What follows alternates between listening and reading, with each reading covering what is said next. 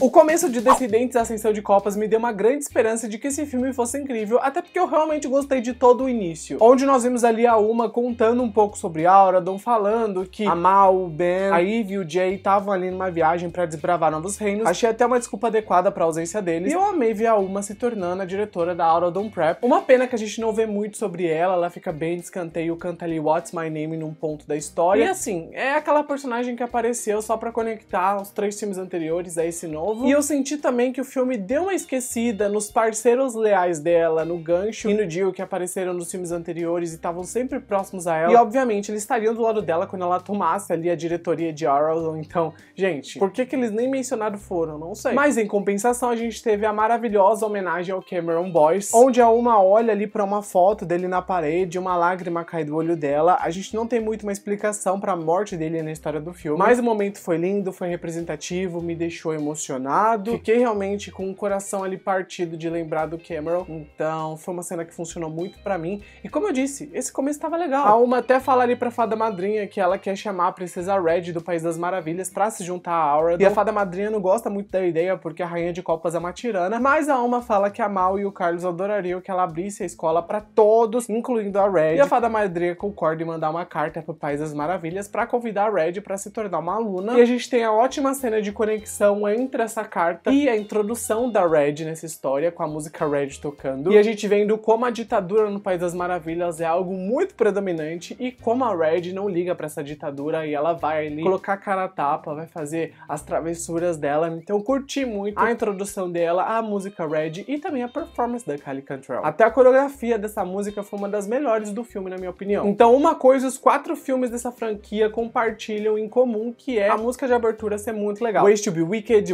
Rock to the Core, Good to be Bad e agora Red se consagram aí como músicas de abertura muito boas é, para filmes dessa franquia. Achei essa música deliciosa de ser ouvida, gostei da sonoridade dela, gostei da letra, da forma com que a gente entende um pouco mais sobre o País das Maravilhas por conta dessa música, a gente também entende quem é a Red e o porquê ela é desse jeito. E assim, eu fiquei viciado na música, não vou mentir para vocês, eu ouço todo dia. E foi essa música que apaziguou o meu ceticismo para esse filme, que eu tava muito cético, quem me acompanha nas redes sociais sabe. Porém, eu deveria ter mantido esse ceticismo, porque minha decepção seria muito menor. Porque sendo muito sincero com vocês, eu assisti esse filme cheio de problemas. Mesmo que algumas coisas tenham me impressionado nele, eu vou falar sobre as coisas que me impressionaram, mas eu também vou destacar as coisas que eu achei ali realmente complicadas. E esse vídeo vai ter spoilers, tá? Só vou deixar isso claro, porque eu vou falar sobre o filme com spoilers, debater aí os problemas e os acertos dele. Então já vai deixar um like que é muito importante, se inscreve aqui no canal para próximos conteúdos e comenta lá nos comentários o que vocês acharam desse filme, se vocês gostaram ou não gostaram, eu quero muito saber o que vocês têm a dizer. Eu comecei a assistir a franquia Descendentes lá em 2015, na estreia do primeiro filme, desde então tenho acompanhado todos os Descendentes é, na estreia também, e eu até acompanhei as versões diferentes que apareceu aquela Cigalone, Modify. Gente, tudo que saiu de Descendentes eu já assisti. Tanto que eu já vi a trilogia milhões de vezes. E o segundo filme é meu favorito, tá? Eu quero saber até o de vocês, coloca nos comentários, mas o segundo, ó, tá no meu coração. Porém, o ponto que eu quero chegar é que a trilogia foi finalizada ali em Descendentes 3 e eu acho que não era necessário ter um quarto filme. E quando eles anunciaram Descendentes Ascensão de Copas, eu fiquei com o pé atrás. Eu até preferi o título anterior, que era The Pocket Watch, sem o nome Descendentes, que eu acho que até funcionaria melhor como um filme ali que não se conectasse muito à franquia principal. Mas enfim, eles colocaram Descendentes depois e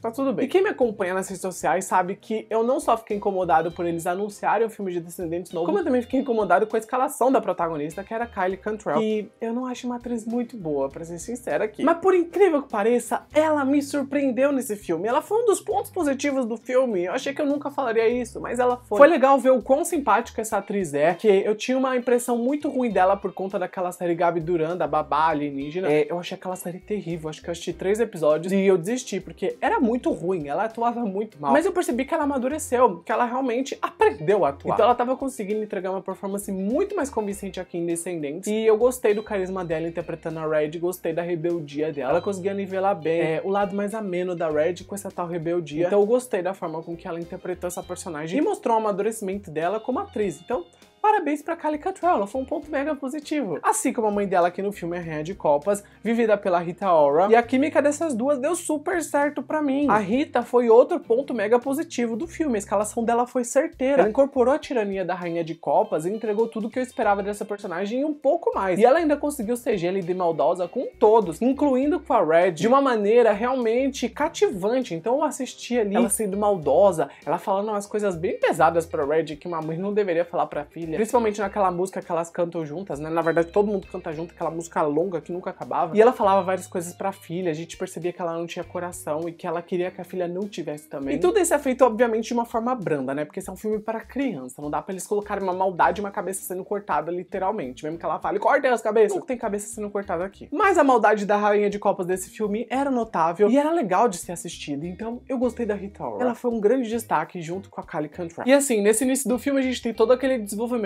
do País das Maravilhas e como a Rainha de Copas era inescrupulosa ali, e o CGI do País das Maravilhas até que tava interessante. Só que assim, é, parando para pensar, eu acho que Zombies 3, por exemplo, usou o orçamento que tiveram ali, que foi um orçamento maior do que os dois anteriores, de uma maneira um pouco melhor do que esse Descendentes usou. Porque tinha umas ceninhas ali que eu ficava olhando e ficava, hum, tá mal polido esse CGI, mas tudo bem, não vou ser fiscal de CGI. Até porque o filme fez um feijão com arroz muito bom nesse sentido, então não vou falar mais sobre isso. Só que o ponto é que a história do filme nos mostra a Rainha de Copas colocando em prática um golpe em Araldon por conta de uma brincadeira que rolou lá no passado dela enquanto ela tava na escola. E o bullying que ela sofreu tornou ela maldosa. A gente entende isso logo no início do filme. E a gente sabe que ela e a Cinderela eram melhores amigas, né? Antes dela se tornar do mal. Só que nunca fica claro por que ela parou de falar com a Cinderela, qual o grande motivo, sabe? Fica algo assim, super jogado na história. A gente só sabe que a coisa ruim na vida dela aconteceu no dia do baile ali, baile esse que a gente também nunca vê. Porém, o foco do filme fica pra Red, a filha da Rainha de Copas. E a gente vê que ela não quer ser igual a mãe dela, ela não quer se tornar rainha, ela quer ter a própria independência e ela quer também traçar o seu próprio caminho. E ela até usa o relógio de bolso que recebeu ali do filho do chapeleiro maluco para voltar no tempo e impedir a mãe dela de fazer essa maldade em Auradon. E nessa jornada ela tem a ajuda da Chloe, a filha da Cinderela, que aqui é interpretada pela Brandy. Foi um deleite ver a Brandy interpretando a Cinderela novamente depois daquele filme que ela fez anteriormente. Então, para mim, ela viver na Cinderela foi tudo de bom. Mas assim, várias questões acabaram ecoando na minha cabeça desde que essa primeira imagem desse filme. Por que, que a Cinderela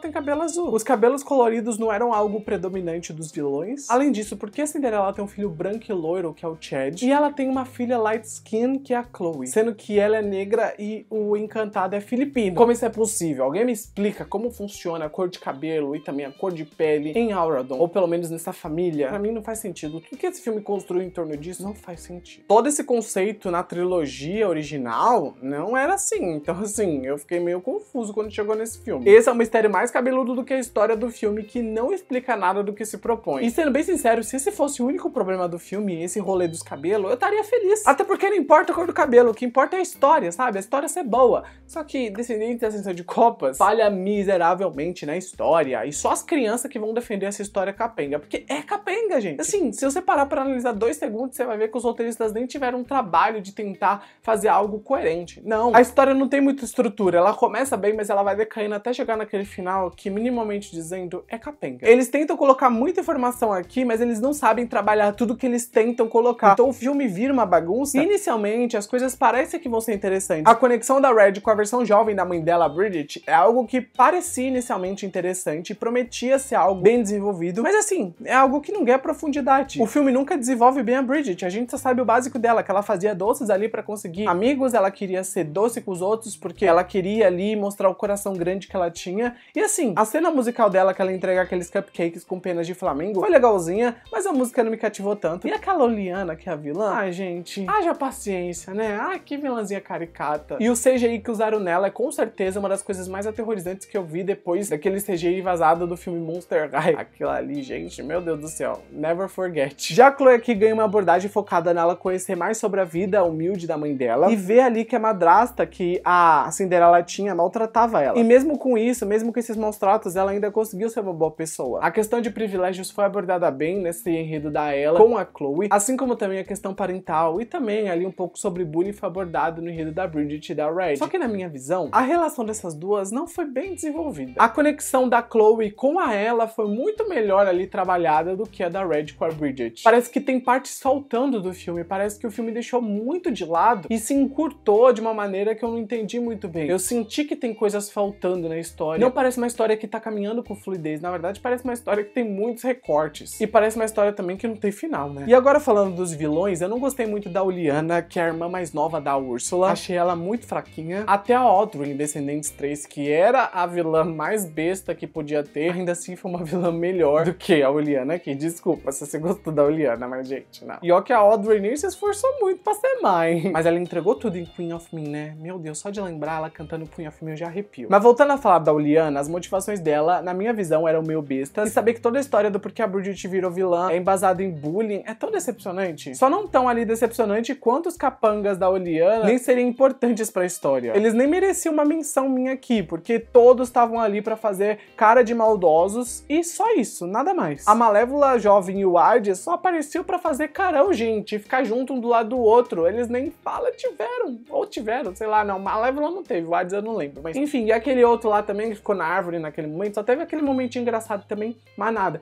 Então assim, o Gancho foi o único que teve um pouquinho mais de presença, mas ainda não teve nada de presença, porque eu nem lembro muito bem o que ele fez no filme, qual foi a importância dele.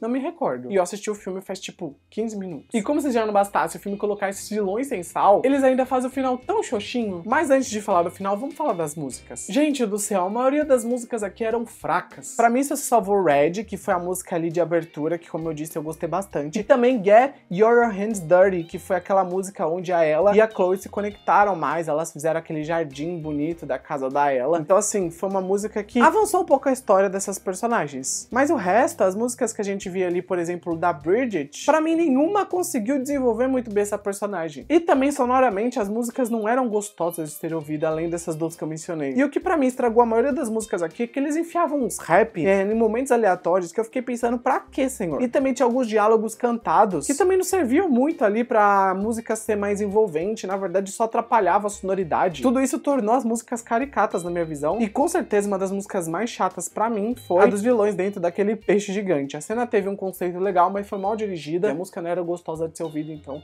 Ai, não foi legal. E também a Chloe e a Red arrancaram ali um pedaço daquele peixe. Então tudo dentro daquele peixe vai alagar. Fiquei pensativo depois disso, mas a gente nunca vai saber a resposta. Ou vai, sei lá. Eu percebi que aqui as pessoas que escreveram o álbum desse filme tentaram tornar as músicas mais descoladas pra atual geração, mas acabaram só tornando elas descartáveis e mal estruturadas. Os versos não eram gostosos de ser ouvido, a batida também não era envolvente. Eu acho que as crianças podem gostar porque as crianças não param muito pra analisar as coisas, né? Eles só consomem, consomem, consomem só que quando você é adulto e você para pra analisar, você percebe que aquilo ali tem um problema e que, na verdade, as pessoas que estavam envolvidas não tiveram cuidado para fazer aquilo de uma maneira melhor. Na minha visão, esse álbum nunca vai superar, por exemplo, os álbuns dos filmes anteriores, que tiveram músicas superiores em vários fatores. Isso sem mencionar que as coreografias eram, na sua maioria, uma cópia do que já foi feito nos filmes anteriores, misturado com coisas que, na minha visão, foram feitas ali em Zombie. Parece que a coreógrafa assistiu o que já foi feito antes e só replicou. Mas assim, o que esperar de uma coreógrafa que foi responsável responsável por Cinderela de 2021, aquela bomba atômica estrelada pela Camila Cabello, e também o clipe Me da Taylor Swift, que me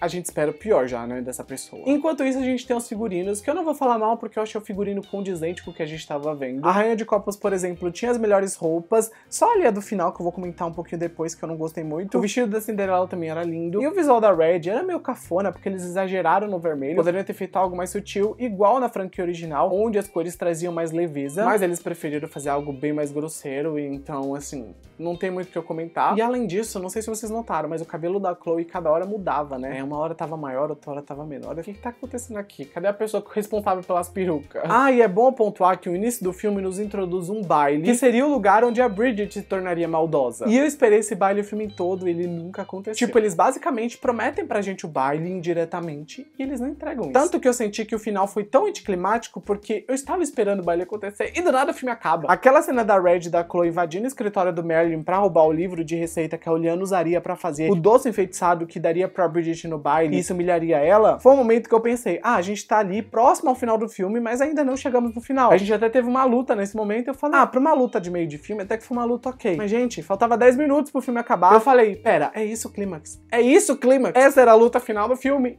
Essa a luta final até Descendentes 3 com aquela coisa da Audrey no final foi melhorzinha do que isso. Eu tenho tantas críticas a Descendentes 3 que mesmo gostando do filme ainda assim eu critico ele, porque ele tem problemas assim como eu tô criticando esse daqui. Mas assim, eu fiquei indignado. Os vilões aqui ganharam uma detenção e foi isso, acabou. Esse foi o desfecho. Eu até me questionei como eles conseguiram enfeitiçar a Bridget se o livro congelaria ele, já que ele estava enfeitiçado pelo Merlin para não ser aberto pelas pessoas erradas. A gente vê eles sendo congelados pelo livro, então a trama é muito mais explicada. Eu acho que o filme é cheio de furos de roteiro. Se eu fosse aqui pontuar cada um, vocês iam ficar doidos comigo. As crianças já vão me atacar nos comentários, já tô sentindo que eu vou ser agredido, mas vocês têm que entender, crianças. Tem erros. Titio aqui vai falar os erros para vocês, tá? Dou aqui doer. Daí depois desse momento, a Chloe e a Red voltam pro momento que elas saíram ali, né? Depois que elas usaram o relógio, a rainha de copas tava com o vestido vermelho e branco, que era horrível. Essa combinação ficou tenebrosa de ruim, parecia um vestido mal acabado. Eu até fiquei pensando que ela ia ficar com cabelo rosa em vez de vermelho, porque o vermelho foi quando ela se tornou do mal, né? Não fez muito sentido ela ficar com cabelo vermelho. Na verdade, sei lá, muita coisa nesse filme não faz sentido, mas.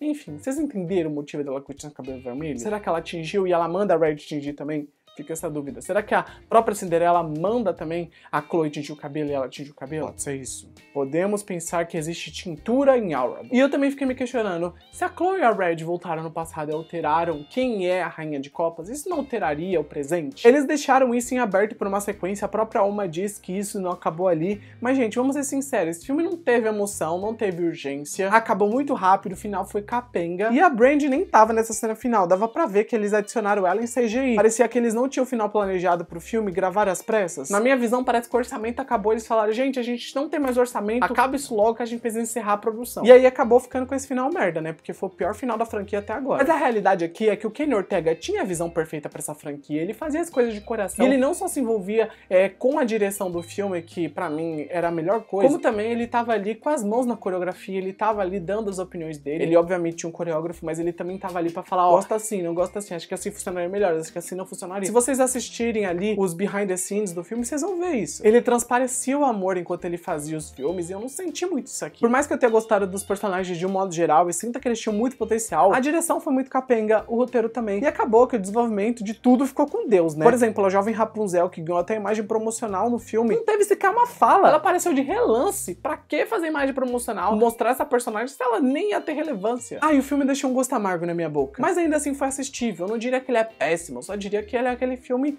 repleto de problemas. Mas ele consegue ser divertido na medida certa. Acho que as crianças vão curtir muito o que vão ver aqui. Até porque criança não pensa muito na hora de assistir, novamente eu digo, só absorvem. Porém, os adultos, né, as pessoas um pouco mais evoluídas, vão notar os problemas do filme e vão entender que tá tudo bem gostar de um filme que tem problemas igual esse daqui. Ou tá tudo bem também não gostar, né? Não sei. e o que mais me entristece em tudo isso é que o filme tinha muito potencial. Eu gostei da Kylie Cantrell, ela mudou muito a minha visão sobre ela. Rita Ora se encaixou muito bem no papel de rainha ali de copas. E eu espero muito ver essas duas numa sequência. Acho que a sequência tem potencial para ser melhor do que esse, assim como foi Descendentes 2 melhor do que o primeiro. E agora que a gente tem a quadrilogia, eu digo, eu veria novamente a trilogia, mas eu não veria esse filme de novo. Era isso que tinha pra falar sobre Descendentes da Ascensão de Copas. Me conta aí o que vocês acharam nos comentários, se assistiram até esse momento do vídeo. Coloca um coração vermelho nos comentários pra saber que você viu até esse ponto, porque é pra simbolizar, né, o coração de copas. E é isso, gente. Podem comentar o que vocês quiserem, só não me ataquem. Por favor, crianças. Respeitem o tio. É isso. Um beijo e tchau, gente.